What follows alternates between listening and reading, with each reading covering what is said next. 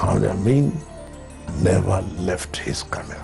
The fact that he could shoot both video and still simultaneously, to me to this day is still astonishing. During my wedding day, I was on the street covering riot because he told me wedding can wait, but news can't wait.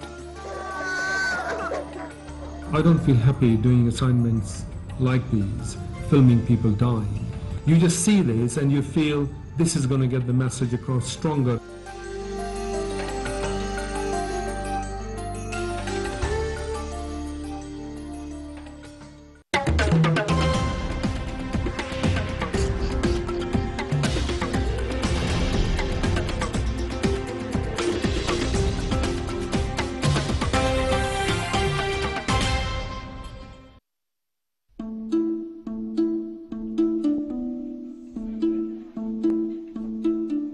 An archive of more than 4 million images.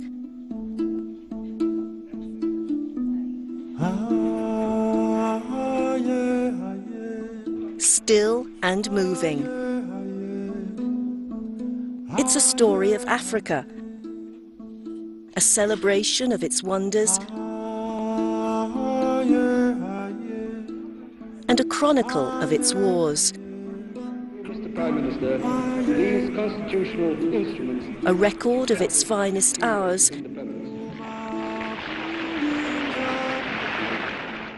and of its utter follies.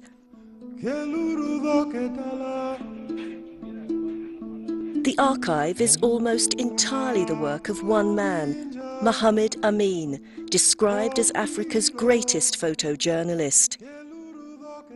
In a career spanning four decades, he covered almost every major news story on the continent, chalking up scoop upon scoop upon scoop. Muhammad Amin was able to scoop every journalist.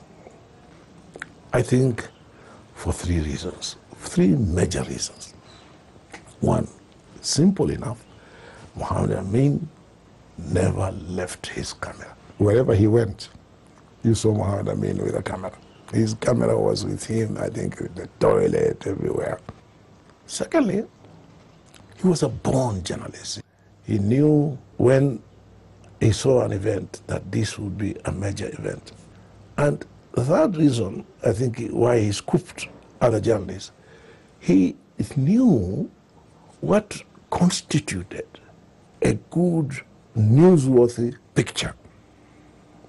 Not only did he know that this is an event, but within the event, he knew that that particular uh, happening needs to be captured. For Muhammad, or Mo as he became known, getting the story first was not just a goal, it was an obsession. He wanted to be first. He always wanted to have the scoop. He wanted to be the only one with the pictures. And there are many, many incidences that I heard of from other journalists where they say, you know, he used uh, extremely unethical uh, uh, methods in order to make sure that nobody else got the, the story except him. He was uh, a force of nature, if you like, in pursuit of a story or a picture. He was a tsunami and nothing would, nothing would stand in his way. If anybody, anybody came close to even getting onto what he called his patch, then uh, he, would, he would even explode even more. Mo expected the same commitment to the job from those who worked for him. During my wedding day, I was on the street covering riot because he told me wedding can wait, but uh, news can't wait. So we were with him on the street, running up and down. Suddenly, during lunch hour, he said, okay, now we are in break, we can go back to your place and uh, have a fun. So I, we went back there, and then I put on my suit, and uh, we start celebrating with the guests. And then after 45, one hour, he said, let's go back to work. The determination and focus that were to earn Mo fame as Africa's greatest photojournalist were with him from his early days. He was born in 1943 in Eastleigh, a deprived area of the Kenyan capital Nairobi.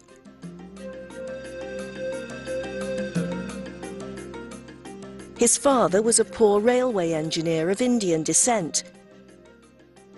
Mo was the second of his seven children. You know, I come from a, a very poor family and, uh, you know, I was never uh, born on a bed of roses. I've gone through grown by eating charcoal from gutters and so on and so forth. That I don't know if that is that is the reason. Perhaps that is that is uh, something, you know, in me that uh, tries to get the message across uh, more strongly, trying to understand other people's suffering. In the early 1950s, his father's job took the family to Dar es Salaam, commercial capital of the then British-ruled Tanganyika, now Tanzania. Mo was obsessed with photography even as a boy. He saved up for two years to buy his first camera, a box brownie, at the age of 11. At school, he was an active member of the photographic club and spent his spare time snapping student activities. Showing a canniness with money for which he was later to become well known, he sold the pictures to his friends at a profit.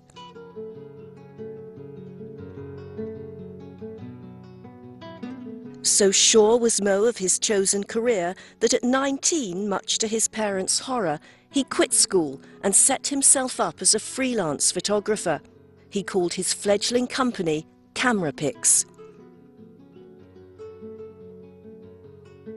It was now the early 1960s and there was no shortage of news events to cover. The winds of change were sweeping through the continent. There was the end of the colonial rule. African leaders were taking over their countries. There wasn't much international media presence here, so being a local African allowed him to actually get access to places and to people that I don't think anyone else would have gotten access to. Mo's very first scoop took him off the mainland coast to the spice island of Zanzibar, where there were rumours of a coup. The island's airport had been closed, but this was no deterrent to the resourceful Mo. He hitched a ride on a dhow and was the first to take pictures of John Okello, who led the Zanzibar Revolution in 1964. Back in Zanzibar the following year, he got an even more sensational scoop pictures of a secret military training camp with advisors from what was then the Soviet Union and East Germany. The images made news worldwide, but landed Mo in Zanzibar's notorious Kilimammigu prison. It's said he cried just three times in his life, and the first time was here. He was 22 years old. He had just started his career. It was almost a baptism of fire for him. He was beaten, he was tortured. It was a really bad experience for him. Uh, he lost 28 pounds in weight in, in 28 days. It was the defining point in his life, I think, where he could have just given up this profession and gone and done something else. But instead, I think it hardened him and, and made him more determined. After his release from prison, Mo was deported he headed back to the Kenyan capital where he started afresh to build up his business. The fact that he could shoot both video and still simultaneously, to me to this day is still astonishing. In his early days, he used to work for different agencies and not tell those agencies that he was working for their rivals, but he obviously couldn't send them the same picture. So he would again rig up this contraption that would take the same picture but from different angles. So it looked like there were three photographers there as opposed to just him. So he could sell the same picture to three different people um, and, and make three times the amount of money. He was tough to negotiate with. When he brought his pictures, he wanted those pictures bought at a certain price. There, there you saw somebody who was uncompromising. He knew the quality of his work and he wanted a price for his pictures that went far, far, far, far, far, far above the normal accepted prices we were paying for pictures at that time.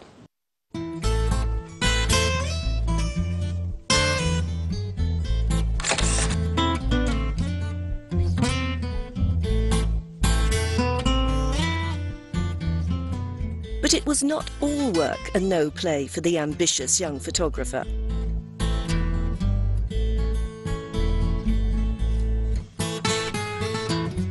In Tanzania, he'd met Dolly Kaki, sister of one of his friends and a fashion designer and model. Romance blossomed.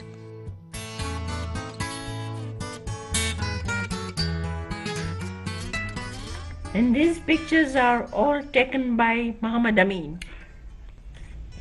This, this was my first picture he took in the fashion show, first picture of mine. Amin was not uh, very good looking or he was not a handsome boy, but I thought he had a very good personality. He was charming. That's how I fell in love with him.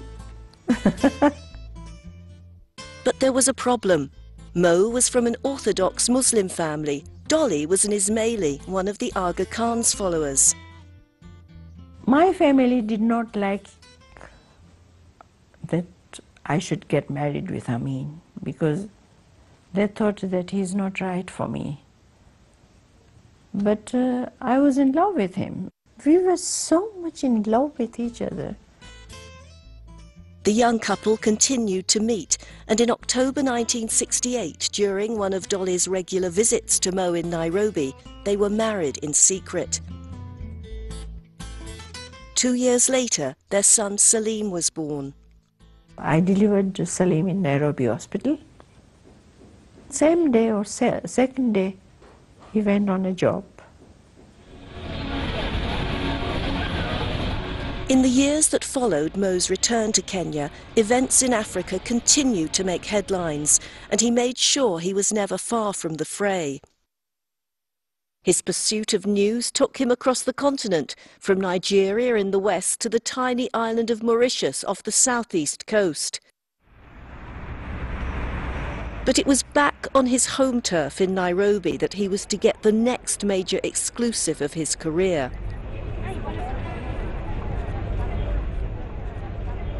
On July the 5th, 1969, Kenyan politician Tom Mboya, tipped by many as a successor to the then president Jomo Kenyatta, was gunned down as he left a pharmacy in the city centre. Thanks to a tip-off and the speed of his response, Mo and his cameras were on the scene within minutes. An hour or so later, he was at the offices of the Nation newspaper. So here comes Muhammad Amin, sweating, I remember. And uh, he was he was offering the editor exclusive pictures. And when we looked at those pictures, it was impossible for us to believe what kind of pictures they were. They show Tom Mboya dying. It so happens that Muhammad Amin, after hearing Tom Mboya was shot, rushed to the scene, and before they took Tom Mboya to Nairobi Hospital, they obviously put him in an ambulance. And Muhammad Amin got in that ambulance. So he was taking pictures of Tom Mboya as they were trying to revive him. He was then almost unconscious, but he was not dead.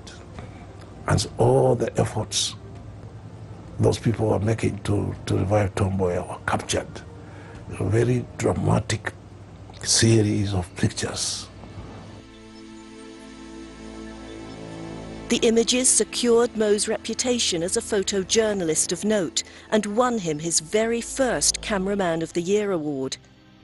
He'd achieved another coup, but more exclusives were soon to follow.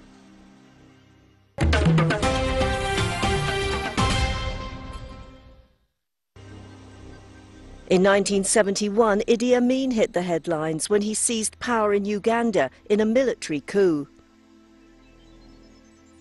The next big story was Idi Amin and his reign of terror. How he got to know him was a funny story in the sense that he, like every other journalist, wanted to get into Uganda when they heard about the fall of Milton Obote and called up State House in Kampala and got the operator and said, you know, in his usual, dad's usual style, you know, let me speak to, to General Amin. And the operator is asking, well, you know, who are you? And he said, well, I'm Mohammed Amin. And the guy, the operator just put him straight through to Idi, and I think the operator just assumed that it was a relative. And Dad ended up forming this, this interesting relationship with Idi. I wouldn't say it was a friendship, because I don't think Idi was anyone's friend, but it was a good acquaintance, it was a good connection.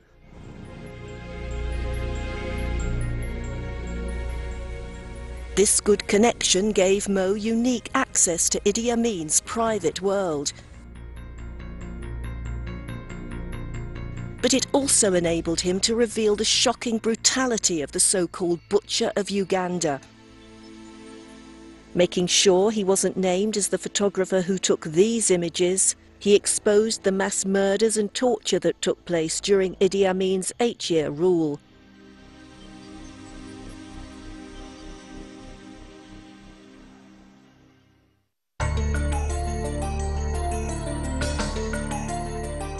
Connections were the key to many of Mo's successes. He made a point of knowing people in all the right places. He had that list of very impressive contacts. And the people Muhammad Amin knew mattered.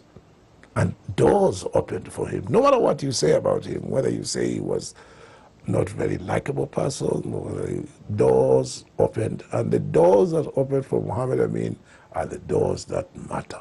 And they led to news. As Mo's work became increasingly known to editors around the world, commissions flowed in. Working alone, he was no longer able to cope with the number of assignments. He took on a small staff and Camerapix grew. In the initial days, I mean, everyone was petrified. Muhammad, he would scream, shout, curse, swear.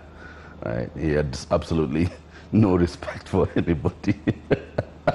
but in my opinion, this was the best way you'd actually get to learn because you had to be sharp. As well as cameraman, he was the company accountant and office manager. No job was too great or too small. Amin used to work, he started work at home at around uh, 2 a.m. And then at 6 o'clock he will go to the office and then he will stay there up to like 8, 9 at night. That was every day, Sundays, holidays, Christmas Day. Uh, there was no there was no holiday. Never took a holiday. Uh, even if we went to the coast or we went, you know, we went somewhere for a vacation, he would be with his cameras, be up at at uh, two, three in the morning doing his paperwork, uh, be out at five thirty to get the sunrise pictures because he knew he could sell those pictures at some point.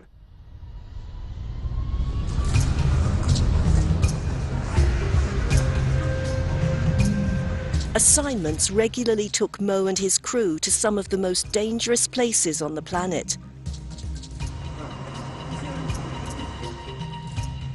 From Britain's attempts to shore up its empire in the late 1960s to the long-running conflicts in South Sudan and Somalia.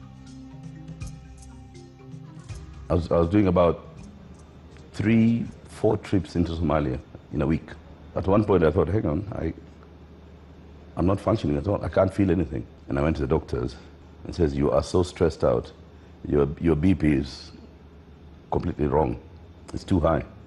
So I got home and I, call, I called Mohammed and I said to him, uh, I've been told blood pressure is too high.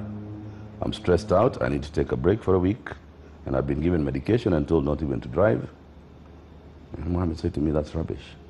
What do you mean you've got stress? that's a white man's disease.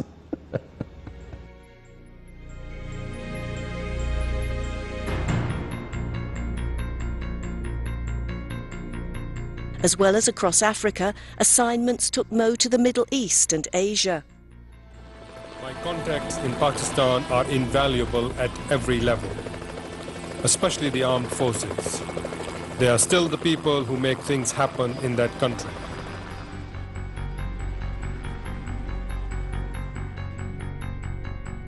But while the thrill of getting the story was supreme for Mo, for his young family, left home alone, there were challenges. He was an absent father. I actually hardly ever saw him because he would be on the road probably seven or eight months of the year. So I never really got to see him. His work was his life.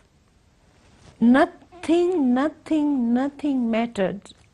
Nothing mattered except his work.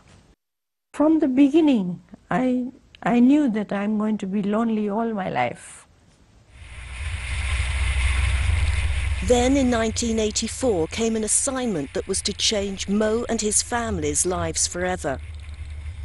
He was commissioned by BBC Television to travel to northern Ethiopia, where there'd been reports of a famine. The BBC's Michael Buerk was the reporter.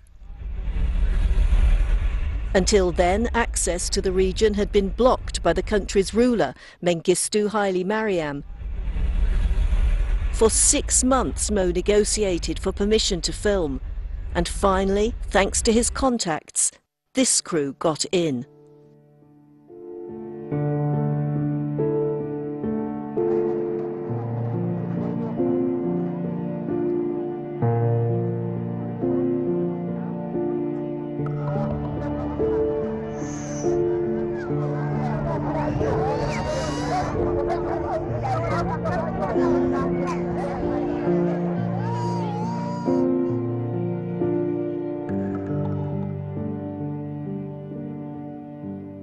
It's one story that really has shaken me. I have seen a lot of horrors, wars, executions in the past, which, is, which has never bothered me. But I feel here is a situation where people are dying simply because there is no food, you know, something we take for granted in our normal lives.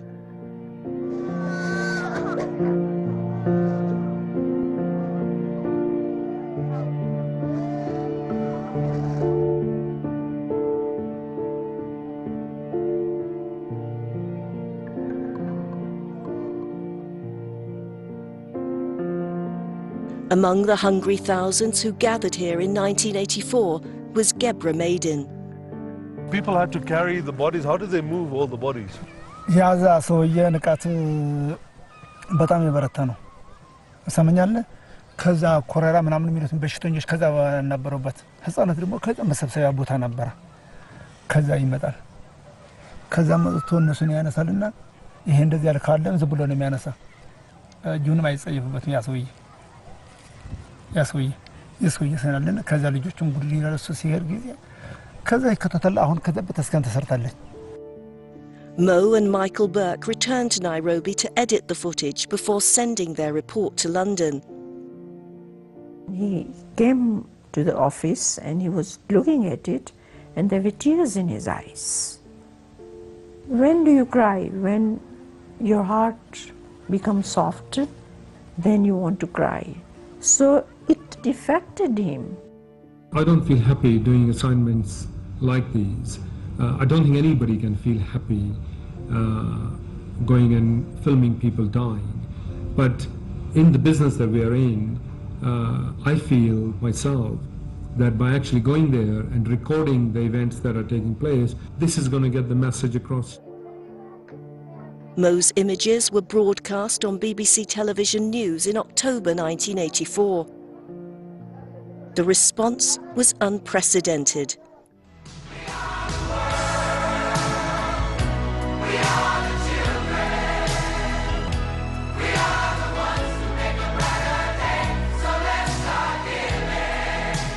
Among those who'd seen the news broadcast was Irish singer-songwriter Bob Geldof.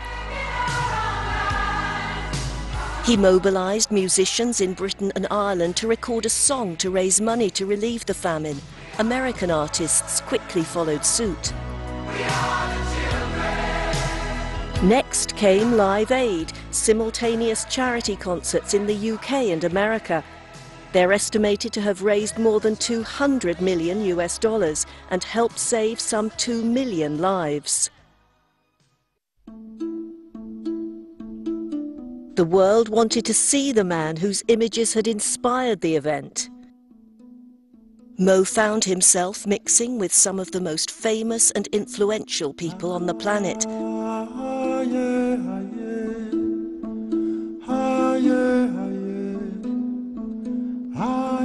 And awards and acclaim poured in. For the Ethiopian famine, he received dozens of, of international uh, television awards at different festivals. He, he won a BAFTA, uh, which is probably one of the biggest, the Royal Television Society, a Monte Carlo Award, dozens and dozens in every, in almost every continent on earth. He was, he was honored.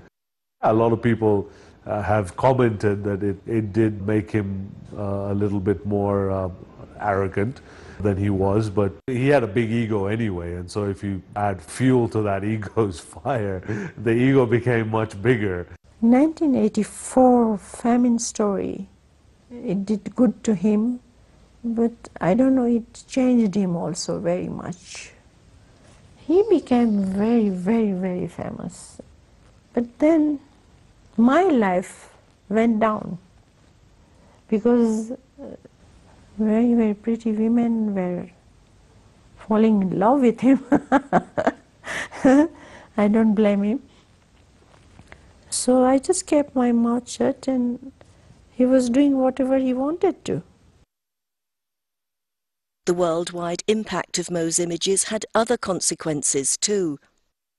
It did serve to uh, save uh, millions of lives because the international community responded very quickly and very generously to the uh, famine. Now, in terms of negative impact, that image was indelibly imprinted on the minds of many people. And so, for uh, many people, Ethiopia became the um, poster child of famine in Africa.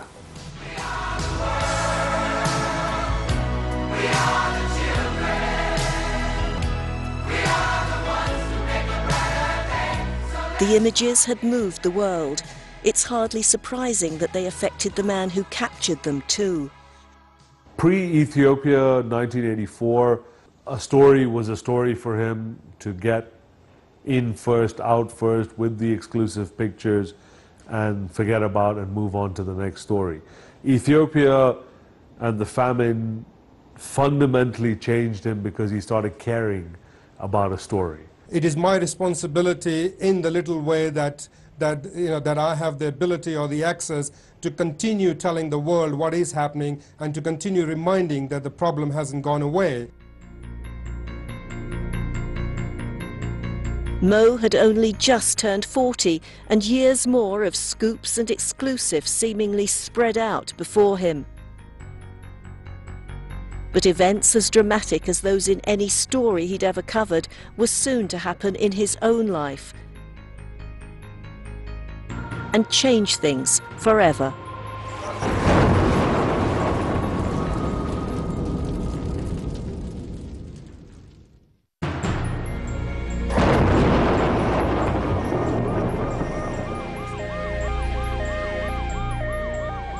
The way he took it was incredible. He was a very, very tough guy. I think I've only seen Muhammad crying once. I think he got a sense of his own mortality. Most people were, I think, a little too scared, so I, I presume he's a very brave man. He must have thought, I'm going to get a great story out of it.